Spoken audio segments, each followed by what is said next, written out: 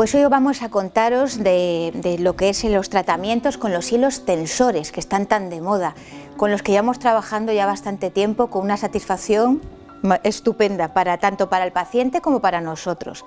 Y vamos a tratar un tema, una zona que nos preguntáis mucho, que es la zona de la papada. Ya una vez os comentamos cómo la tratábamos con esta zonita de aquí. Primero le quitábamos la grasa con el Aqualis, que ya conocéis, o con mesoterapia para bajar la grasa, pero vamos a tensar esta zona.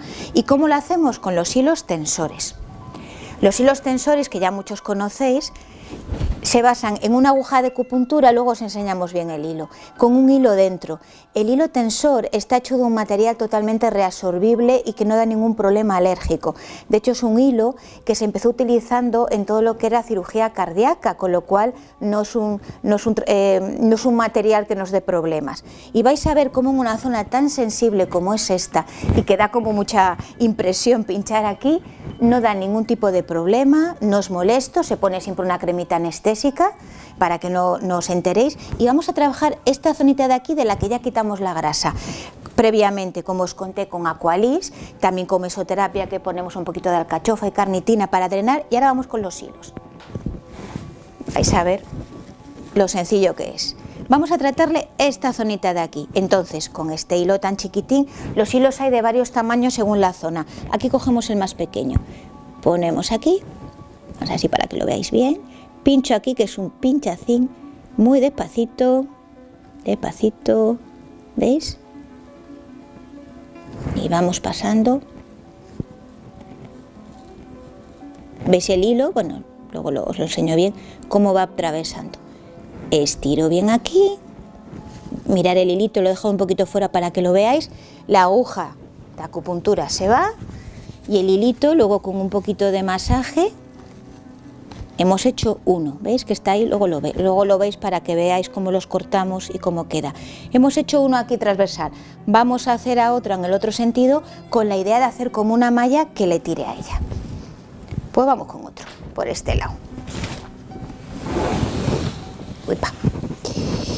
Vamos a hacerle un cruce, metemos aquí la puntita y lo demás vamos despacito, vamos en una zona dérmica, no, no, hay, no hay molestia, vamos muy despacito.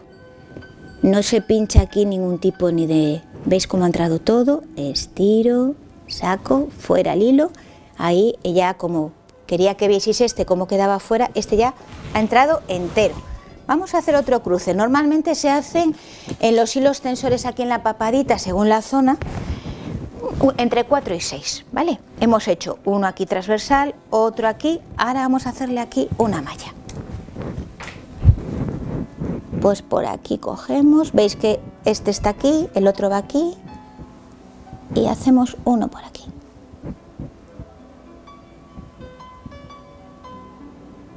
¿Veis? Ha entrado hasta aquí. Tiramos bien el hilito dentro.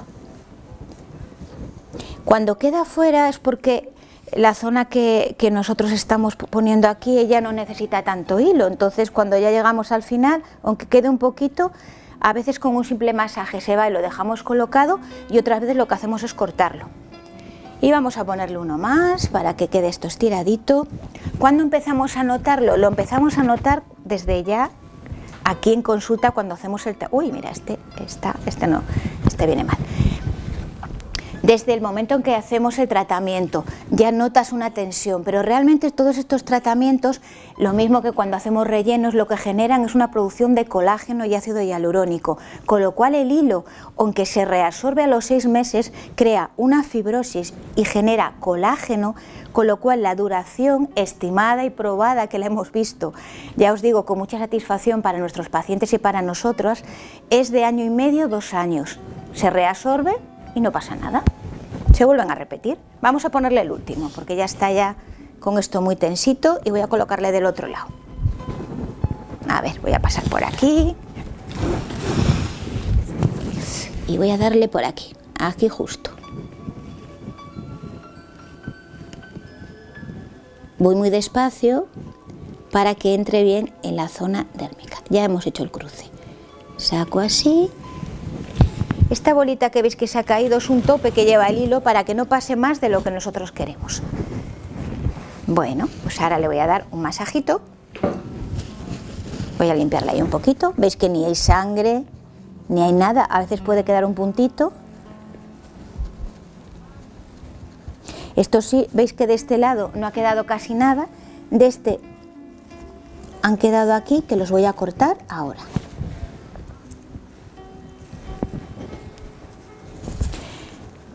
Cuando hacemos cualquier tratamiento de hilos, en este caso es papada, ya os digo que son entre 4 o 6, porque es esta zonita de aquí, cuando hay que hacer todo el óvulos más, pero lo que es este triangulito de ahí, 4 o 6 hilos nos lleva. Luego lo que hacemos es, ya os digo, ahora voy a cortar el resto de hilo, masajeo, se pone una crema con fotoprotección y te vas a tu casa y te incorporas a tu vida cotidiana sin ningún problema.